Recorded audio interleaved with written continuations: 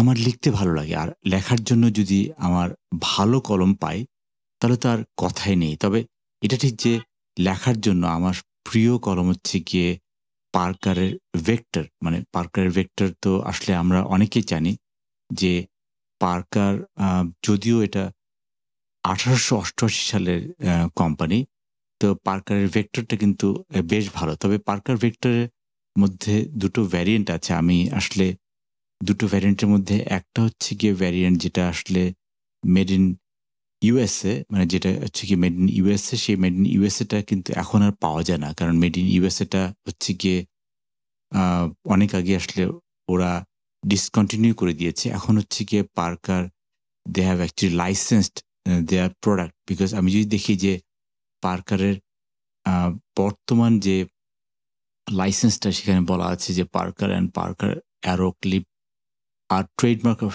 Europe ইউরোপের যে ব্র্যান্ডটা সেটা এখন ইন্ডিয়া এবং নেপালে লুকসো রাইটিং ইনস্ট্রুমেন্টকে তারা দিয়েছে।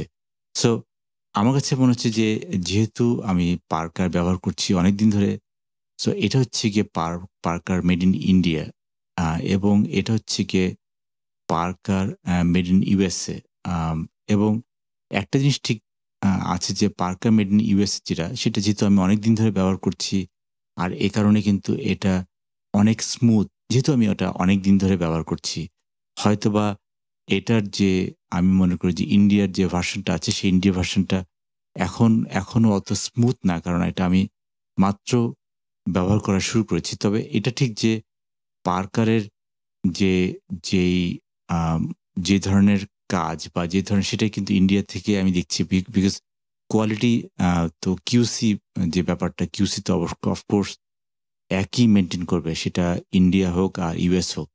তবে এটা ঠিক যে কোয়ালিটি পাশাপাশি যেহেতু এটা রিফিলেবল এটার সাথে যে রিফিলেবল ব্যাপারটা আছে, এটা কিন্তু একটা ভালো জিনিস। যে রিফিলেবল মানে হচ্ছে কি, আমি আসলে I can use it as a dropper যেভাবে আমরা আগে কালি আমরা তুলতাম, সেভাবে ব্যবহার করা যায়, অথবা এটার জন্য আলাদা রিফিল কিনতে পাওয়া যায়। তবে ইন্ডিয়া হোক আর যেহেতু ইউএসএ এখন আর পাওয়া যায় না, তো ইন্ডিয়ার যে অংশটা আছে, সেটা আসলে কিছুদিন ব্যবহার করলে আমার কাছে মনে হয় যে আর কিছুদিন ব্যবহার করলে হয়তোবা এটা ঠিক হয়ে যাবে। কারণ হয়তোবা শুরুতে একটু খসখসে লাগছে আর এর পাশাপাশি ইন্ডিয়ার অনেক কলম আমরা দেখছি। ইন্ডিয়ার কলমগুলো, ইন্ডিয়ার কলম কলম না, আমি চাইনিজ কলম অনেক ব্র্যান্ড আছে।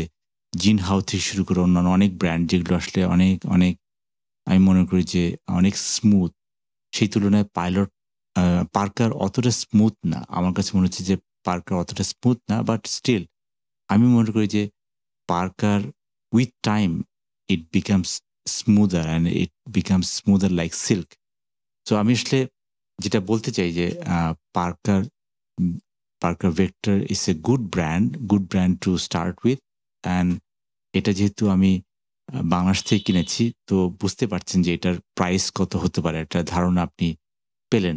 তো যেটা আমি ইউএস থেকে নিয়ে এসেছি সেটা আসলে অনেক অনেক অনেক অনেক আগে এবং ইউএস এবং এটার মধ্যে খুব একটা পার্থক্য দেখা যায় না। শুধুমাত্র ইন্ডিয়াতে যেটা আছে সেটাতে পার্কার ব্র্যান্ডটা অনেক বড় মানে পার্কারটা অনেক বড় হিসেবে লেখা আছে। Otherwise is all the same এবং পার্কার যে ইউএস এবং ইন্ডিয়ার মধ্যে আমি পার্থক্য আসলে ওভাবে পাচ্ছি না, কারণ দুটোর নি অলমোস্ট কাছাকাছি দেখতে। তবে যেহেতু পার্কার ইউএসতে আমি অনেক ব্যবহার করেছি অনেক দিন এটা স্মুথ এটা এখনও খসখসে but with time I think এটা আসলে অনেক স্মুথ হয়ে যাবে।